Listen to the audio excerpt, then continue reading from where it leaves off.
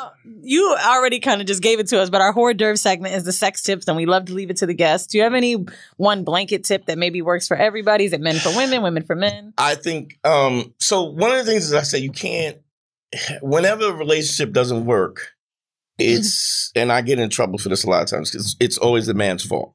And I'll t- I'll tell you why. Because it's um if you have a woman that's too strong, you can't tell a woman yeah, I mean, and all of y'all have done this. Oh, girl, he's nice. Give him a chance. Mm-hmm. What you're really saying is he's not strong enough to handle you.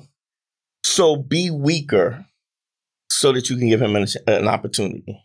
And you can't do that. That that alleviates the, the attraction. The attraction is the fact that he is stronger. Like a woman only finds a man attractive who she thinks is better than her Mm. and better is a is a relative term. I'll agree with that. It's a, He's too nice, or give him a chance. right.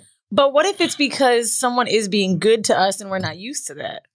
It's still it, his inability to recognize that he's being too nice is is his deficiency.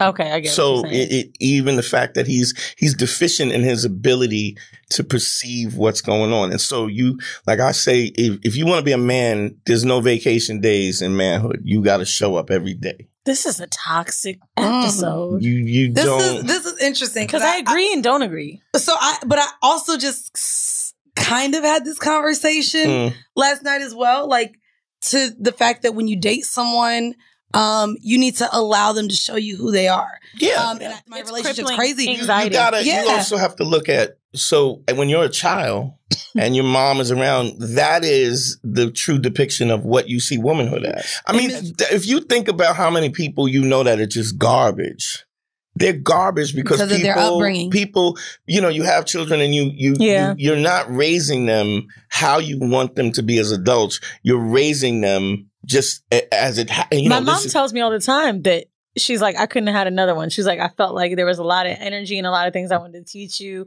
And she was like, and I couldn't balance myself. Like, I think one was it. Like, she always says that. She's like, I don't think another one could have came out. And I, I think also it's a situation where you, you know, it's it's sort of like buying a new laptop and then you back up the laptop from your old your your old um Computer? your old backup. You know what I mean? Like you you you You forgot all the shit? No, I'm saying like you have viruses and malware, right? and then you you just download all your shit into this Back brand new laptop, new and then you Dante, wonder why. do you like love analogies I love- so he I mean, loves it's, much? just- He it's loves it. to. He it's loves easy- Young man school 202.